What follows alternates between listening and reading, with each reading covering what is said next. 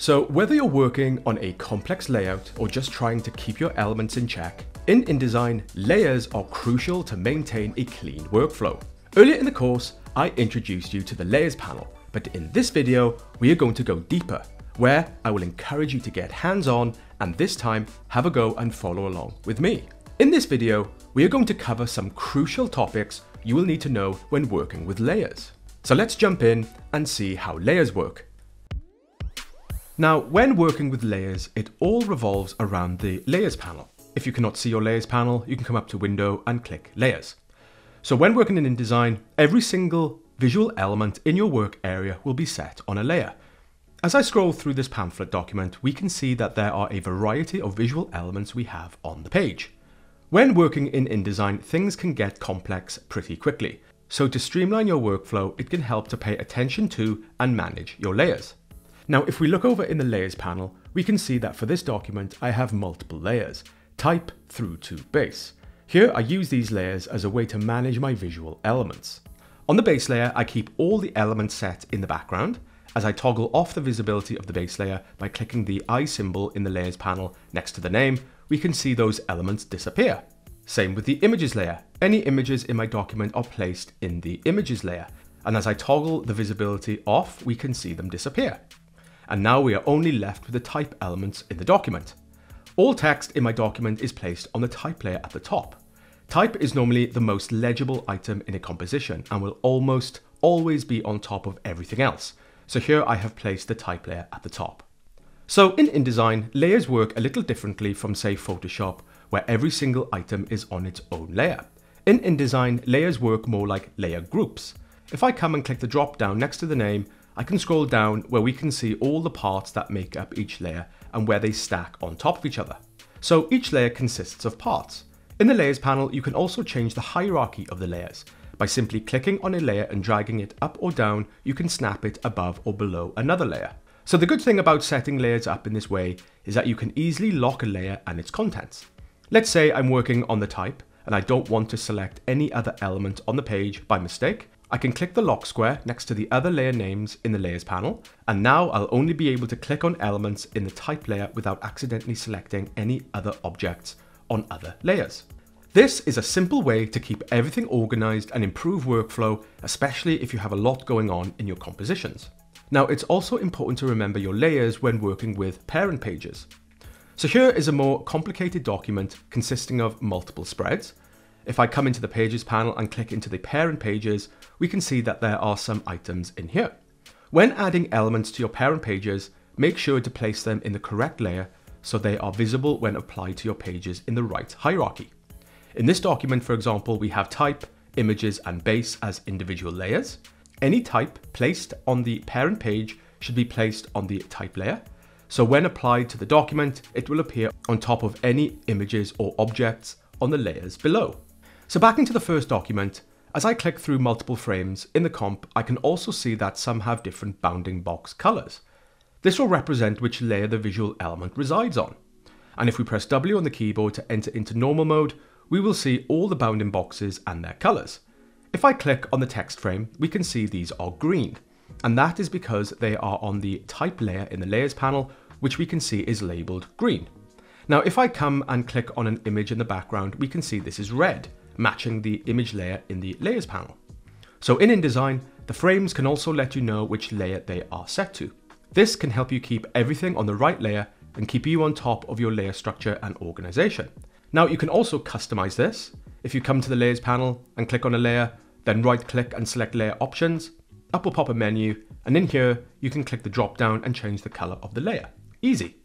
Now in InDesign, there are lots of ways you can interact with the objects in layers in order to get control of your composition. So let's jump into a document, get hands-on and look at how we can manage layers. To demonstrate layers, I recommend opening up this practice document I have prepared especially for this exercise. This document can be found in the downloadable folder that comes with this course. This download folder comes with multiple projects and a ton of assets and resources we'll be using in this course.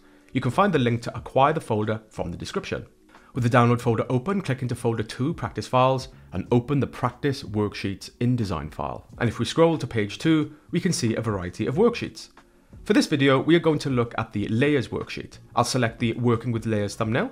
Now I'll either come to the links panel and click Edit Original, or I'll hold Alt on the keyboard and double click on the worksheet thumbnail, and the worksheet will open up in its own document. So in this worksheet, you can see what we are going to cover, and below we have some documents we will be referring to during this video. To begin, I'll click on the practice document thumbnail.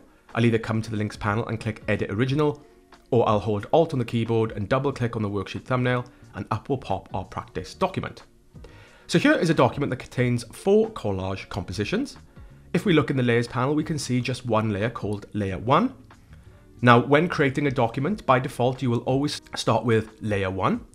So what I have done here is create a bunch of collage compositions, but I have not managed them in layers. In this instance, there are a lot of objects in the work area. Having multiple objects on one layer can make working with a document difficult. So now I want to manage my layers to make the document easier to work with. So the first thing I'll do is simply name the current layer, and I'll call this images. Then I'll come down to the bottom right and hit the add new layer button, and I'll name this type, and make sure it's set to the top. I'll create a new layer, name this base, and this time click and drag it to the bottom. Now to select our objects, we could use the selection tool. Now in this instance, I want to select the background circle image and place this on the base layer. But as I put my mouse cursor over the background and click, we can see that there are lots of visual objects and frames on top. So right now, it's quite difficult to select the background directly because other objects are in the way. This is a common issue that can occur in InDesign when you have lots of objects on the page. So a really useful tip here if we press and hold Command on Mac or Control on PC and press and click, as we click, we will start to select through objects immediately below the mouse cursor. If we click once, we'll select the layer on top, click again, we'll select the layer behind that, and if we keep clicking, we will eventually get to the object that we want. With it selected, I'll press Command X on Mac or Control X on PC to cut. I'll click on the base layer, come up to Edit and click on Paste in Place. And this will paste the background on the new base layer. So I'll zoom out and just do that again real quick for the other document elements in each collage composition. I'll press and hold Command on Mac or Control on PC and start to click. Click through my object layers, cut and paste them onto the base layer until they are all on their own layer. I know if I toggle the visibility of my base layer, we can see that these objects are now sitting nicely in their own layer at the bottom. Next with the selection tool, I'll click on the first type object, press and hold shift and select the rest of them across each page. I'll press Command plus X on Mac or Control plus X on PC to cut. I'll click on the type layer, come up to Edit and click on Paste in Place. This will paste the type frames on the new type layer. So just like that, I was able to quickly organize my very busy composition into something a little more organized. And as I toggle the visibility of each layer, we can see they are all residing on the right layers. Now, as we move our mouse cursor over the object frames, we will now see different colors which correspond to the layers in which they now reside. And if we press W on the keyboard to enter into normal mode, we will see all the bounding boxes and their colors.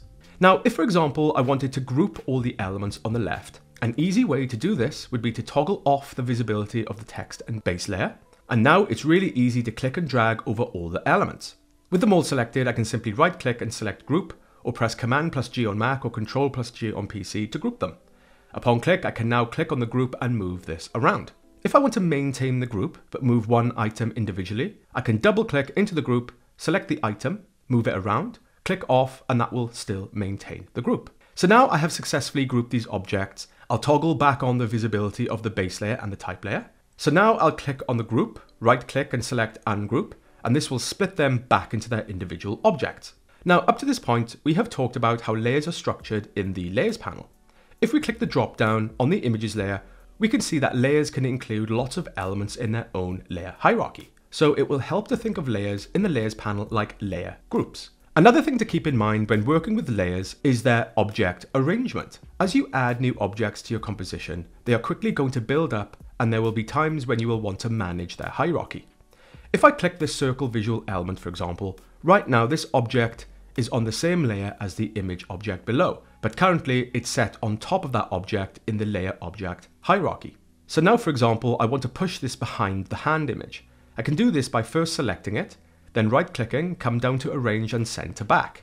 Now let's say I want to take these dots here and bring them to the front. Again, I can select, right click, come to arrange and this time click to bring to front. This is an easy way to arrange your objects in your compositions. However, if you have a lot of visual elements, like I do here, sending them to the back or bringing them straight to the front can be quite clunky. You might want to finesse the hierarchy in a more refined way. To do this, you can use the keyboard shortcuts. So this time, I'll click the hand image and press and hold Command on Mac or Control on PC, then either press open square bracket or closed square bracket. As you press this, you can bring your image forward or backwards in steps. This can be good if you don't want to send an image directly to the back, but just move it back or forward a few steps in the composition. Now, we also have the ability to lock individual layers. For example, I'll click on this image here. I can either right click and select lock or press Command L on Mac or Control L on PC. Upon locking an image, you will see a little lock symbol. Now to unlock the object, you can either press and hold Command on Mac or Control on PC and click on the lock icon, and this will release, or you can come into the Layers panel, click the drop down on the layer it resides on, scroll down and you will see the lock here. If you click this, you will unlock that object on the layer. Now, in InDesign, you can also use the Layers panel to target a layer. If you have a busy document with lots of content and you lose track of an item, we can come into the Layers panel, I'll hit the drop down on the Images layer and toggle down to a specific object on the layer. For example, I'll right click on this layer here called Jessica Parsons, and then if I click Select and Find Item, it will take me directly to that object. So this can be really useful if you want to search for a particular object in a layer. Now another aspect of layers we should keep in mind is vector groups. Now if we come to the first page and select the square texture here, if we double click, we will see that these are individual squares making up this object. Now sometimes you may use a pattern or texture that you may have created say in Illustrator and pasted it directly into InDesign. For example, this square composition was originally created in Illustrator to which I copied and pasted the entire thing into InDesign. Upon pasting into InDesign, it pasted in as a single object, but it does in fact contain individual vectors. With it selected, if we come into the Layers panel and hit the drop down on the image layer and scroll down, on the right we can find it by looking for the solid color square, and if I click the drop down here we can see the objects that this contains. So in InDesign, when you paste in objects, they can exist as layer groups within a layer group. Now if I right click, I could ungroup all of these, but for now I want to keep them in this grid composition. Now there is one last thing I want to discuss, and that's layer options. If we come over to a layer in the panel, we can right click on the layer and select layer options. Upon click, we will see a menu that appears, and from here we can rename the layer, change the color of the layer labels, and toggle options to show the layer, lock the layer, print layer, suppress text wrap when layer is hidden, show guides or lock guides. Now, one of these options that is of particular interest is the print layer option. So if we come back to the worksheet and this time open the sample letterhead document, with the selection tool, I'll click on the sample document thumbnail. I'll either come to the links panel and click edit original, or I'll hold alt on the keyboard and double click on the worksheet thumbnail, and up will pop our practice document. Now the print layer option controls whether a layer's content is included in print or export files. For example, here I have a document for a letterhead. To create the letterhead, I have some filler texture so I can gauge how the elements will be placed around it. Now, if I press W on the keyboard to toggle between normal and preview mode, in preview mode, we won't be able to see the text. And look over in the layers panel, we will see this layer here called demo text. And if we look closely, we can see that the layer name is in italics. If we right click on this layer and click on layer options, we will see that the print layer checkbox is unchecked. This means that the layer will not print or export. Keep in mind that by default, layers are set to print. By unchecking the print layer box, we'll exclude that layer from the final output. This is useful for visual elements you may not want to print, such as guides, notes, or interactive content like menus, giving you flexibility to manage visible but non-printable elements during the design process. When you export a document like this, anything on this layer will not be present. So those are the key principles you will need to know when working with layers in InDesign. Quite a lot to take in, right?